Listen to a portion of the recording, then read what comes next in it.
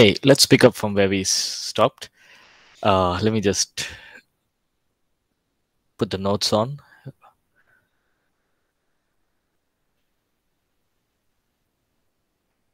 All right. So let's look at the nature of God's covenant with man. Right. So we've been, we know, we've established the fact that God is a covenant keeping God. God has the, is the one who is behind the covenant. We've established the fact that we are partakers of his covenant. And so let's look at the nature of God's covenant, right? Uh, page 8. God is the initiator and the keeper of the covenant. Genesis chapter 15 and verse 18. The Lord made a covenant with Abraham. Right? Abraham didn't make the covenant. The Lord made the covenant with Abraham. Right? Uh, God appeared as a smoking furnace and a burning lamp that passed between those two pieces talking about when God made the covenant with Abraham. Now, let us consider, you know, in Genesis chapter 6 and verse 18, God speaks to Abraham and he gives a whole uh, description of what he's going to do. He says, I will establish my covenant. The word established means accomplish and confirm. Now, uh, if you've seen, you know, I'm sure most of us would have seen big colleges and universities, right? Uh, well, after a couple of years, or maybe if the college is doing really well, uh, and if it's you know uh, maybe 10 years or 15 years down the line, it becomes an establishment, right? Which means it is it is established. nobody can come and say, "Hey, uh, remove this college from here." Nobody can come and say, "This college, this place is mine." or this belongs to the government or this they, they, nothing nobody can come and disrupt the work because it's an establishment it is settled it is confirmed right uh, and so god is telling abraham i will establish which means to uh, confirm to stand firm to decree to endure to uphold the covenant that i'm going to make with you. I will establish it. Nobody can come and say you're not part of this covenant. Nobody can come and say you know uh, you're not well educated you're not uh, you know you're not tall enough you're not uh, uh qualified enough nobody can say anything because god is telling abraham i will establish the covenant. I will confirm it. If anybody has a problem they will have to deal with me. Right? It's like god is saying abraham i'm choosing you. I will establish the covenant with you. If anybody else says anything and says that you know you can't, you know, you you can't be part of the covenant, I will confirm it to them. I will stand firm for you. I will uphold this covenant that I'm making for you. Now, the interesting thing is, who was Abraham? He was an idol maker. He you know he was he was a gentile but god just chose him and said i'm i'm going to establish this covenant with you genesis 17 2 he says i will make my covenant between me and you the word make is to to initiate i will i will make it i will make it come to pass exodus 6 5 I have remembered my covenant. Powerful. God is talking to uh, Moses, uh, or he's he's he's telling the people of Israel, I have remembered my covenant. And I gave my covenant to Abraham, and now you're in bondage for so many years in Egypt. It looks like I've deserted you. It looks like I've forgotten you. But hey, Israel, I have remembered my covenant. I will always remember it. I've not forgotten to remember it, but I'm remembering my covenant. Right? He's telling the people of Israel, I've remembered my covenant. Leviticus 26 44. I will not break my covenant with them, for I am the Lord their God. It looked like God had broken the covenant. It looked like God had, abandoned the people of Israel, but in a powerful display of miracles, God brings the people out of Egypt. And he says, I will not break my covenant with them. I have promised to Abraham that I will make him, a, uh, that his descendants, I will give them an inheritance, I will bless them, and I am here to fulfill that promise. So, what what if God, what if you know Pharaoh and all these people, you know, did all they can to stop Israel? Remember, they were fighting against God because what does God say? I will establish it. I will make it come to pass. I will not break it. Deuteronomy 4:13. So he declared to you his covenant. God declared to you and me the covenant. God has declared it.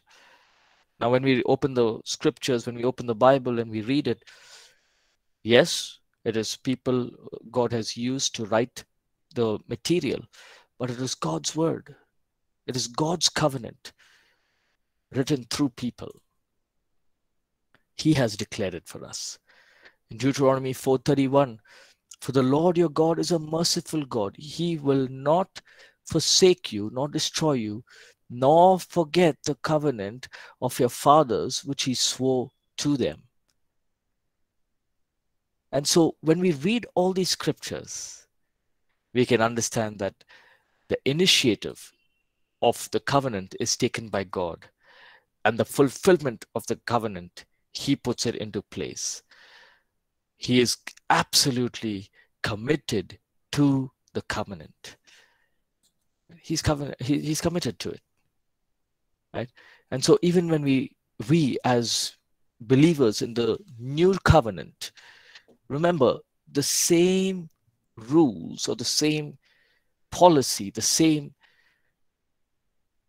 aspects apply. How? We may feel God, you know, uh, maybe we are being tempted every now and then. We fall into temptation, we fall into sin. And we feel discouraged. But remember that you and I are part of God's covenant. So we can always go back to God and say, God, in the, by your blood, you said that my sins are forgiven. You have washed my, my sins away. And this is your covenant that you have given to us. So you and I can stand and say, God, help me to receive the blessings of your covenant. Help me to walk in obedience, to walk in love. Now, the wrong thing to do would be to say, you know god has never helped me or i'm seeing i'm i'm at a dead end. And so many times now especially now in these seasons we're seeing many people abandoning the faith because few of their prayers are not answered. Remember abraham? God told abraham i'll make you the father of many nations. He didn't become when he was 75 abraham didn't say okay it's five years let's close this whole thing let's let's go back to doing what uh, doing the things that we were doing. No. He said no no no. God is a god who keeps his covenant. He had faith. He had faith till the end. Even though his body was wearing away he had faith till the end. Right? And so even in our lives remember uh, uh, partakers as partakers of the new covenant god is the initiator of the covenant I love that verse which says, while we were yet sinners, Christ died for us. Amen. While we were yet sinners, Christ died for us. So it was not like God was waiting for us. Okay, let the let people become better. Let them, you know, uh, turn away from their sins, and then I'll come into this world. now. So while we were yet sinners, Christ died for us. So the initiative is from God. Whether it's the old covenant, whether it's the new covenant, the uh, initiation is from God. Now, God has initiated it to man enters into God's covenant. Let's read Deuteronomy chapter 29 and verse 12. Yes, one of us please read that. Deuteronomy 29 and 12.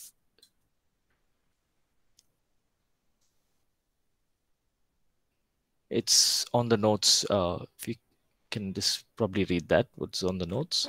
Um, Deuteronomy 29, verse 12 that you may enter into covenant with the Lord your God and onto his oath which the Lord your God makes you makes with you today. Amen. That you may enter into the covenant with the Lord your God. Right? Now, here's the thing God is giving you the choice. God is giving me the choice. It's a choice. God is not enforcing it upon us. He's saying that you may enter the covenant. And in Deuteronomy, the people probably heard about Abraham. They knew about Abraham. They knew about the covenant. Uh, but they were not yet ready to enter the covenant. They were not yet willing to say, okay, I'm part of the Abrahamic covenant, or I'm part of what God, God did through Abraham. You know, maybe they were not willing to enter yet. But the word here says, we may enter into the covenant. It is our responsibility, right? Uh, some translation says, join ourselves. The Hebrew word is lava, which means to twine, to unite, to hold tight, to cleave to the covenant. Right? So God offers us his covenant, and we make the choice to enter into God's covenant. And when we do so, we are joining ourselves with the Lord Himself. Right? Remember, when we partake in the Lord's table, we'll talk about different covenants as well uh, as the class goes on. But remember, uh, the Lord's table, when we partake in the Lord's table, we are partaking in his death, his burial, and his resurrection. We are partaking in him. Why is it so powerful? The Lord Jesus died 2000 odd years ago. He did this, you know, he took the bread, it was just a regular meal. But we, we when we when we do it with an understanding that we are part of this new covenant, what God has initiated, we are entering into that covenant. When we do it with that understanding, His power, His resurrection, His life flows in and through us. Why? Because we are partaking in His covenant that He has given us. We enter in and we, we are joined together with the Almighty God in an everlasting covenant. Joined together. Now picture this. We're far away from God, living in sin. And God chooses to draw us back to Him. We enter, He gives us a covenant. We enter into that covenant. And we are with Him eternally. Even when we look at, uh, uh, you know, uh, the things to come, eschatology and uh, the end times, we are going to be with Him what a beautiful covenant. Third one, as every covenant, there are blessings, there are curses. Right? Once we are in covenant with God, we are we are obeying his word, we are obeying his precepts, obedient to his instructions, and we love him with all our heart, mind, and soul. We are part of his covenant blessings. Let's read Exodus 19 and verse 5. Exodus 19 and 5. Yes. Now, therefore, if you will indeed obey my voice and keep my covenant, then you shall be a special treasure to me above all people, for all the earth is mine. Amen. Thank you, John. If you indeed will obey my voice and keep my covenant, then you will be a special treasure to me. So, God is saying, when you obey this covenant, you will be blessed. Deuteronomy 28, uh, which we most often read, uh, uh, you know, pronounces blessings and curses of the covenant. When you follow the covenant, I will bless you, I will keep you, I will, uh, uh, I will increase you. Uh, you will be the head and not the tail. You will give, you will not borrow. people, your light will shine over people. And Deuteronomy 28 talks about this wonderful uh, blessings you shall be your children shall be like olive shoots your your your your basket shall overflow all these wonderful blessings but then by violating god's instruction there will be curses. Now, why, why, why will they be curses? Because we are forfeiting ourselves from the covenant and we're saying, God, I don't want anything to do with you. And the enemy comes in and begins to work his work. And then what does he do? The enemy only comes to bring curses into our lives. And so it is our choice. And we are in the uh, in the covenant. We we we receive the blessings. We enjoy the covenants, even as we uh, obey Him. But if we choose to go away from the covenant, God is not going to, you know, hold us there or forcefully make us stay in the covenant. He's going to let us go. But by doing so, we have turned away from the God, the creator of the heaven and the earth, and we are calling upon uh, curses upon our lives. Right now, one of the questions that some sometimes people ask is, you know, people who are Christians, they they become atheists or they, you know, they they don't believe in God anymore. Their lives seem all right. They have a wife, they have children. They're probably living better lives than us who believe in the Lord Jesus. They have everything. They have a good house, a good car, a good job, everything that they desire, good health. Everything's all right. So, so what's the difference? I mean, I'm in the covenant. He's not in the covenant, but he was in the covenant. He's not in the covenant now. And everything is all right with him. But for me, maybe everything's all right. Maybe everything is not yet. You know, I, I, I don't have the blessings that he has. Now, remember that when God establishes a covenant, it's an eternal covenant, right? It's not only to do with material blessings. It's not only to do with the things uh, in this world, right? When in the new covenant, we are, you know, uh, we are co-heirs with Christ Jesus. We are his his children, and we will continue to be his children even after death. Right? In the sense that we will be with the Lord Jesus. We will be with God. We have uh, our, our sins are forgiven. We have eternal life. So it's not only about you know the blessings of you know receiving healing and deliverance. All that is important, but it's also an eternal reward. I love what Paul says. Paul writes to Timothy. He's writing to him and he's saying, "Right, listen, Timothy, I've I've done everything I could for the ministry. I've done I've given my body, I've beaten my body, uh, I've been shipwrecked, I've been uh, gone without food, I've been three days on the sea, I've been beaten by rods, and uh, I've been in prison many times, I've, I've stayed without food. I've gone through all of these troubles. Was Paul part of the covenant? Of course, he was part of the covenant. But he was going through all of this. But what does he say to Timothy? He says, I'm not fighting for a crown that will rust in a couple of years. He says, I'm, I, am i am fighting this race because there's an eternal crown waiting for me in heaven. And that is the bigger reward of being in covenant with God. Right? So don't compare. You know, sometimes we may think, okay, why is it that they have everything? I, being in the covenant, I don't have uh, what they have. Don't compare your life to their life. Yes, we pray, we seek God, uh, but the bigger picture is you and I have an eternal reward uh, to be with the Lord Jesus, right?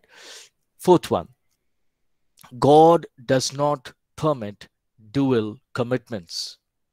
Exodus 34 14, for you shall worship no other God, for the Lord, whose name is jealous, is a jealous God.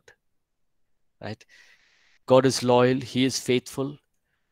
And so He expects us to also be faithful, right? We can't sit on the fence and say, you know, uh, uh, Saturday, Sunday, I will go to the holy side. And Monday to Friday, I'll jump on the unholy side because I'll be in office. We can't do that, right?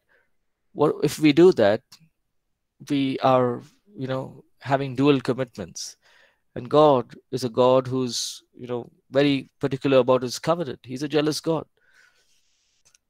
How can how can we, you know, please the enemy and also please God? So it's very important that we choose one. Right? I love in the book of Joshua 24 15. Joshua says it so wonderfully. We we have it on our doorposts. Choose this day whom you're going to serve. And, but as for me and my house, we will serve the Lord. It was a choice because they were going into the promised land. They've entered, almost entered the promised land. Joshua is telling the people of Israel, now listen, I've been with Moses. I've seen all the things that you people did. I've uh, then I've, we, we we brought you into the promised land. We went through many difficulties, challenges. God was there with us. Now there are the Amalekites. You choose this day whom you are going to serve. I'm not going to choose it for you. He tells the people of Israel, You choose it. You have seen God's wonderful hand. You have seen God's miraculous hand. He has promised to Abraham, I will bring you into your own land, a land that you will have flowing with milk and honey. I've, we've brought you into this land. Now you choose this day whom you're going to serve. You want to serve the gods of uh, the Amalekites, the god of uh, Egypt, and uh, the god of the Moabites. Go ahead. But here's the thing as for me and my house, we will serve the Lord. God does not permit dual commitments. You can't have two covenants, one with the enemy and one with uh, God. Here's the thing. Sometimes we hear of people who were probably believers and they abandon everything. They say there's no God. How do they do that? Because somewhere along the line, they have climbed up the fence and sat on the fence and said, okay, I can be here, I can be there also, no problem. I can do this and that, no problem. And somehow the enemy has overpowered them and they've fallen into the wrong side of the commitment to, into the enemy's hand. Failure to maintain that relationship with God, failure to maintain and obey blood covenants. Jeremiah 34 has this description. He talks about how, what happens when we don't obey the covenant that God has given us. Right. So four important points there. Uh, let's look at it. The nature of God's covenant. One, God is the initiator of the covenant. He keeps the covenant. Two is man enters the covenant. We enter into it. It's our choice. And when we enter into it, there are blessings, there are curses. And four, God does not permit dual commitments. He is a jealous God. Right. Any questions, any thoughts before we go into five important covenants? Any questions? Shall we go ahead?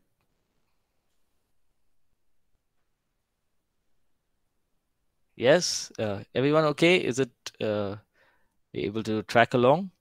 Yes, Pastor. All right, all right. Okay, thank you. Yes.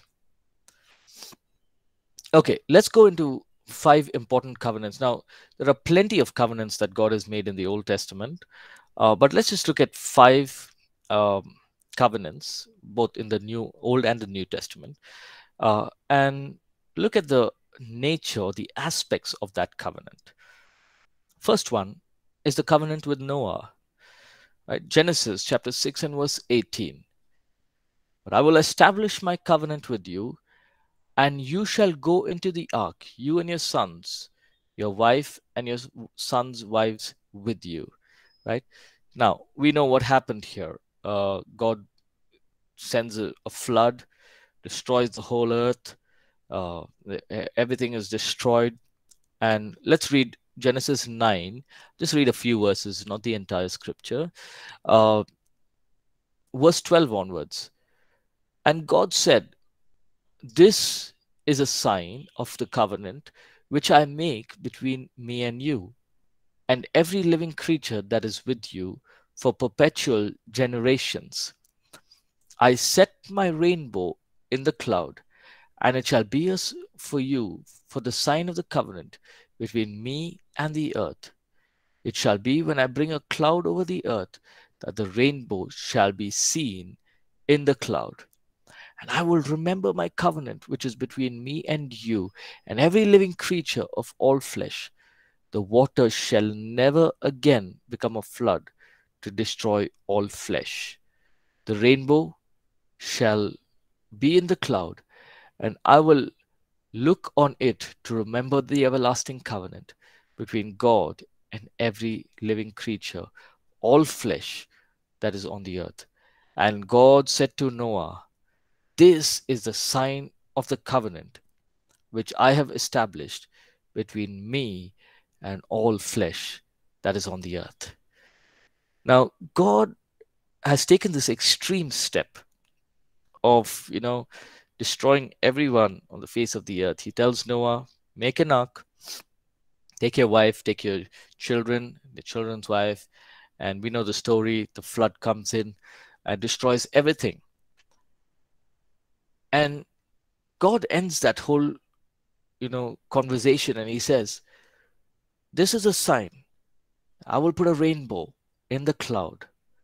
And whenever that rainbow comes, I will remember the covenant that I have made with you. I will remember that covenant, right? The covenant that I will never destroy all flesh. So here we see that God has made a covenant here with Noah.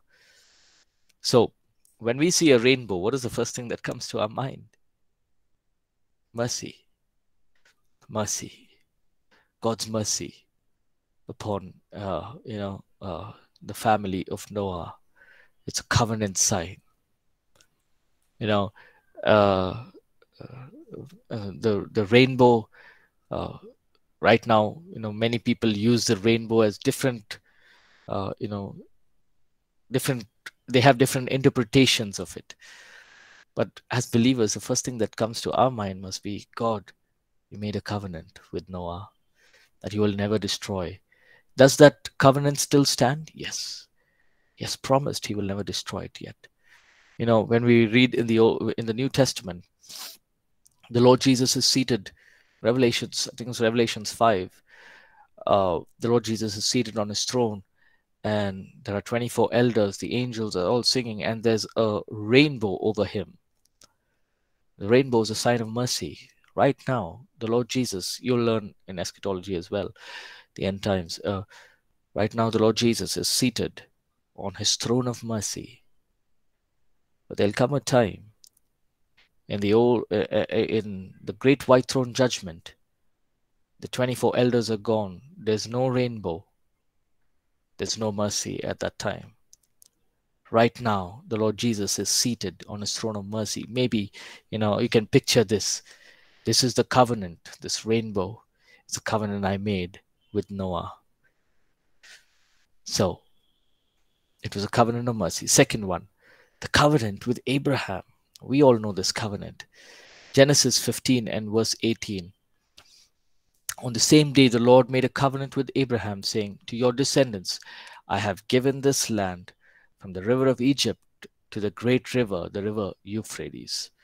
Right. And then in Genesis 17, 1 to 14, um, you know, God tells Abraham about the covenant, right? Uh, which we just read. Uh, uh, my covenant will be with you.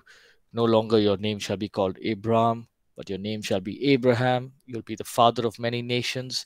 I will make you exceedingly fruitful. I will make you the nations. I will make nations of you. Kings shall come before you. I will establish my covenant. Uh, and you and your descendants will be greater. You, I will take you to a, a land, and in that land will be, uh, uh, you know, a blessed land because you will be in that land. And then God tells Abraham about circumcision. He says, verse 11 onwards, he says, sorry, verse 10, this is my covenant which you shall keep between me and your descendants after you. Every male child among you shall be circumcised, and you shall be circumcised in the flesh of your foreskins, and it shall be a sign of the covenant between me and you. He who is eight days old among you shall be circumcised, every male child in your generations. He who is born in your house or, bo- or bought with money from any foreigner who is not your descendant, he who is born in your house and he who is bought with your money must be circumcised. And my covenant shall be in your flesh for an everlasting covenant.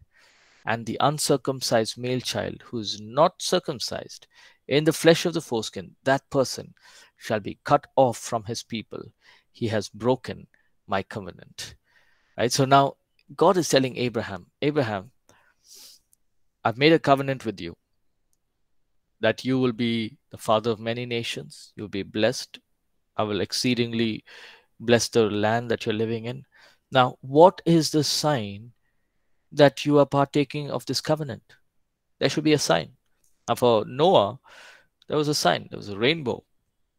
So, Abraham, what is the sign? I don't want to just give my words, even though God could have said, you know, my word is settled. Uh, but God wanted to give a sign. He said, okay, those who are circumcised, male, male, the reason it's male is so that, you know, the male being the head of the family, it just continues on with the entire family. So every male from eight days old, you be circumcised. You are partaking of the covenant that I'm giving you, partaking of the Abrahamic covenant. Even so, up to the time of our Lord Jesus Christ, people were getting circumcised. Now, here's the disadvantage. Here's the problem that happened. Remember, John the Baptist came and he says, You know, God can raise up Abrahams from these stones. You know what the people of Israel did? They thought they just have to do the sign, follow the sign, and the other things will be all right. So I said, I need to get circumcised. And if I get circumcised, I'm part of God's kingdom. Yet they forgot the part where Abraham was obedient to God. They waited, Abraham was faithful. So when it when the time came up to the Lord Jesus' time, 400 years of silence, it became a ritual. So remember dual commitments the people of Israel were living in sin. They were circumcised, but they were living in sin. So, what is God to do now?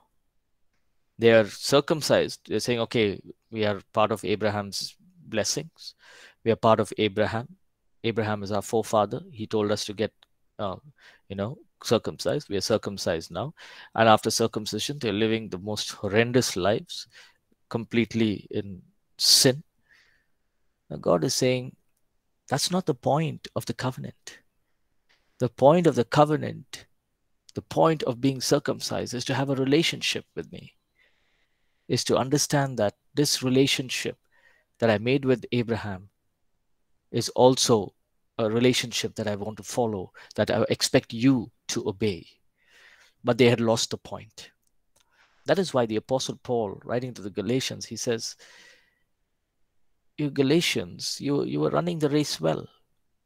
Now, all of a sudden, you've gone into circumcision because they, uh, in the old, uh, the, the people before the Lord Jesus Christ died, they were doing the same thing. They were getting circumcised, but they were living in sin.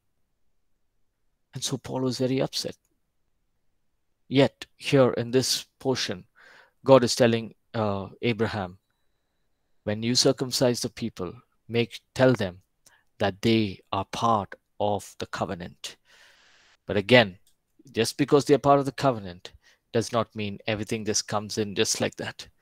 We are to obey that covenant. What about the third covenant? Covenant with Moses and Israel. Exodus 34, 27 and 28. Yes, could one of us please read this? Exodus 34, 27 and 28. Then the Lord said to Moses, Write these words, for according to the tenor of these words I have made a covenant with you and with Israel. So he was there with the Lord forty days and forty nights. He neither ate bread nor drank water. And he wrote on the tablets the words of the covenant, the Ten Commandments. Amen. Amen. Deuteronomy 4:13. Thank you, uh. Deuteronomy 4:13. So he declared to you his covenant, which he commanded you to perform, the Ten Commandments, and he wrote them on two tablets. Now, this is one of the most, uh, you know, amazing encounter that Moses had, where he comes down, he goes up that mountain 40 days without any food, without any water. He's there in the presence of God. And God tells Moses, Moses, I made a covenant with Abraham that I will bless this nation. Probably God is, you know, explaining the whole thing to Moses. We don't know what happened on that mountain, but he was in the presence of God. And God may have written down this law, and he said, even though these people are in covenant, they have lost their way of understanding the covenant, of following the covenant, of being obedient to the covenant. So, Moses, what I'm going to do is I'm going to give you 10 commandments. These commandments, ask the people to follow it. Right? And and so Moses comes down with those commandments and all, and then we see that the people of Israel, you know, when Moses was coming down that mountain, they said, Please cover your face, Moses, for the glory of God shines upon you. It was a covenant, it was an old covenant. How much more is the new covenant? God made a covenant with Moses and Israel. And the Lord Jesus, when he came, he says, I've not come to abolish the covenant, but I've come to fulfill the covenant. You sum up all those 10 commandments and all those laws and commandments in the old covenant, the Lord Jesus says, I'll sum it up into one thing love the Lord your God. Love the Lord your God. Love your neighbor as yourself. That's it. You'll once you do this one thing, you will you would have accomplished all of those laws. But God made this covenant with Moses and Israel. Fourth covenant, the covenant that God made with David. Let's read Second Chronicles 13 and verse 5. Yes, one of us please read. Should you not know that the Lord God of Israel gave the dominion over Israel to David forever, to him and his sons, by a covenant of salt? Yeah. Uh, let's read even Second Chronicles 21 7. Yet the Lord would not destroy the house of David because of the covenant that he had made with David, and since he had promised to give a lamp to him and to his sons forever. Right. Thank you, John. So both these scriptures uh, talk about prefiguring in the sense that it talks about now at the current time when uh, during that time when uh, David was there, and it also talks about the future, right?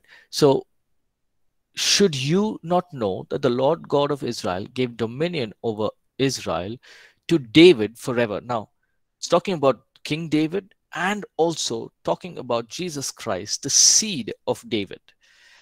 Right? So that's it's prefiguring prefiguring. It's called it's for both, right?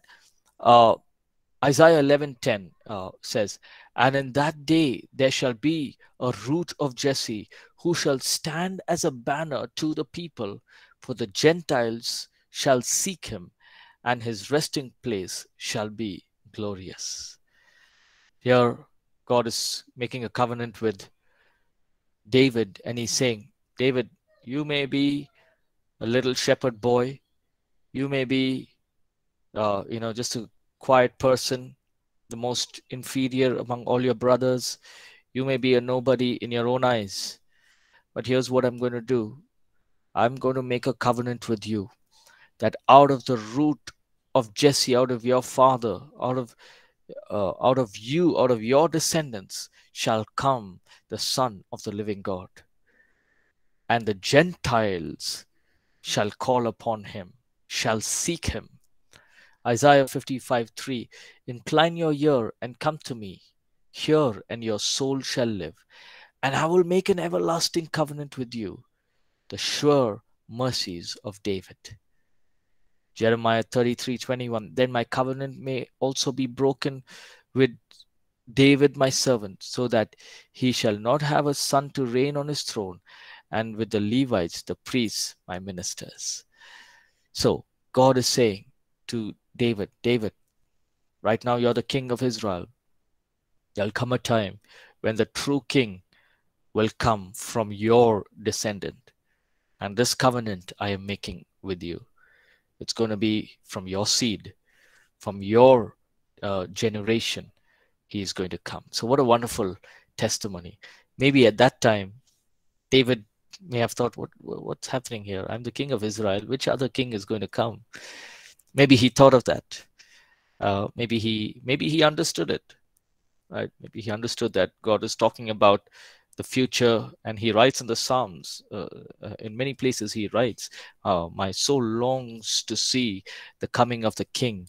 And so yes there, god has made a covenant with david and he established that covenant uh, and we see that also through the birth of our lord jesus christ. Right the fifth covenant covenant with the new creation that is with the lord jesus christ Ephesians chapter 2, verse 11 to 16. Can one of us please read this entire portion? Uh, Ephesians 2, 11 to 16.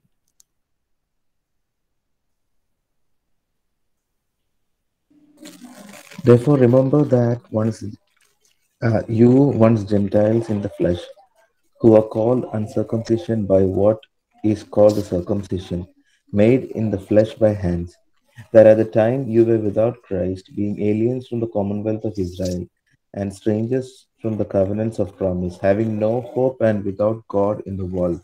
But now in Christ, in Christ Jesus, you who once were far off, have been bought, have been, have been brought near by the blood of Christ.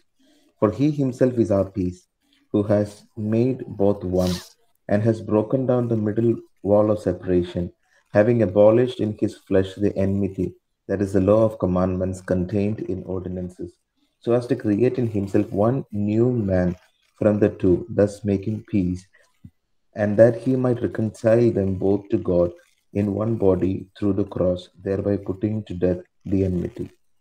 Amen. Thank you, John. What a wonderful final covenant the Lord God did for each one of us. We saw the Abrahamic covenant, we saw the Noah, Noah, Noah covenant. We saw the Davidic covenant. And we saw the covenant God made with Moses. The final covenant, a covenant that is written in each of our hearts. We were once far away from Christ. What does the scripture say here? Verse 13, but now in Christ Jesus, you who were once far away have been brought near by the blood of Christ. For he himself is our peace, who has made both one, has broken the middle wall of separation. Remember that in the old covenant, the people would, the high priest, what would they do? The people of Israel also, they would bring their offerings, they would cut a lamb, they would shed the blood. What does that blood do? The blood would cover the sins it's like the high priest will pray and say, Oh God, cover his sins. Don't look at this person's sins, or don't look at my sins. Let this blood cover that sins. It is a physical representation of what the Lord Jesus did, where when he gave his life, he shed his blood. This time, it was not a covering of sins, it was forgiveness of sins. This time, the blood that was shed was not the blood of rams and goats and calf, but the blood of the sinless one, the Son of God. And this new covenant, what happened? It's an everlasting covenant. So nobody can break this covenant. Whether we, when we are partakers of it, whether we follow it, if we don't follow it, obviously we're going to be uh, uh, turned away. But if we follow it, This is an everlasting covenant. We were once far away from Christ, but Christ drew us near together by his eternal sacrifice. What does verse 6, 15 say? Having abolished in his flesh the enmity and the law of the commandments, so as to create himself the one new man from the two, thus making peace. Having abolished the flesh, eh, meaning now we don't have to go and get circumcised. We don't have to, you know, uh, you know, in the uh, Noah Noah's covenant, the Abrahamic covenant, it was circumcision was like a sign. In Noah, Noah's covenant, uh, the rainbow was the sign. For Moses, the sign was, uh, you know, the Ten Commandments, the covenant. But in this covenant, it's a new heart, a new man. It is not a physical, you know, something that we can do, but it's something that we become in ourselves. Right? Once we become a believer, there's no sign, there's no physical sign. You know, you, we may have the baptism certificate and all, but doesn't really matter. What matters is Second Corinthians 5:17. If any wasn't anyone is in Christ, he is a new creation. He is a new man, a new covenant that is written in each of our hearts. And so, what a wonderful testimony you and I have. You know, we are not partakers. We are not like in the old covenant, you know, waiting for sins to be washed away or doing all these sacrifices, getting circumcised not required. What God has done is He's made that covenant more than physical representations. He's made it a covenant that is eternal, that is spiritual, that changes our inner man itself. And so it's such a joy, you know, when we are partakers of this covenant, we follow, we we accomplish or we fulfill all the covenants in the old as we are partaking in this new covenant. So, uh, with this, we'll come to a close on chapter one. Um, I just want to encourage you to, if you find time, uh, do take some time, just read it. You know, there's a lot of material there. Uh, uh but I want to encourage you to walk out of this identity uh, that we are walking in this new covenant with Christ Jesus. Right? We're no longer slaves, no longer in bondage, but we're set free by the blood of Christ. Let's close in prayer. Uh, maybe one of us can uh, close in prayer. Uh, Jafina or Silatoli, any one of you can please close in prayer. Please go ahead. Thank you, Lord Jesus. Hallelujah. Wonderful God, we thank you, Lord, for this powerful eye opening session that we had. Father God, as we studied on understanding your covenant with us, Lord, I pray as we dig deep into these teachings, may we be obedient like Abraham and thereby receive the blessings that you have in store for us. I pray, Lord, that I pray and I pray and commit each and every one of us into your mighty hands. Help us, Holy Spirit, as we meditate on what we learned in this session. Help us to not only be hearers, but doers of the word of God, bringing glory to your name and fulfilling your call upon our lives. I also thank you, God, and bless our dear pastor. Anoint him in a very special way. Use him for your glory. In Jesus' mighty name, I pray. Amen. Amen. Amen. Thank you so much. Thank you, everyone. Have a great week ahead. Uh, see you next week. God bless. God bless.